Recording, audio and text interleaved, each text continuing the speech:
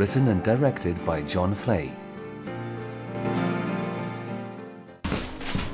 Why aren't you in school? My nan took me to the hospital. He's been having headaches. Then why didn't you call me? And and that's no good for headaches. And neither's that.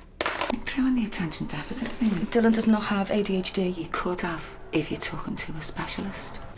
What we'll do is we'll send Dylan to a specialist for an assessment. He's a good man. I've worked with him many, many times, and I'm super confident he'll get us the correct diagnosis. And then he'll be labelled forever. Well, let's not prejudge the outcome. Ali looks from the solicitor to her mum. They step outside.